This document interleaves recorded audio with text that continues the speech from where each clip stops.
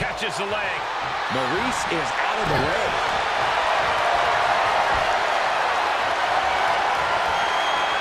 Maryse fires back. Looking to end it here. This could be it. And the victory here tonight.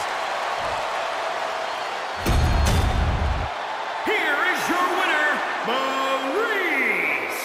That's the kind of win that can take their career to the next level. I strongly suggest Beth Phoenix go back and watch this match. There's plenty that can be learned from this loss.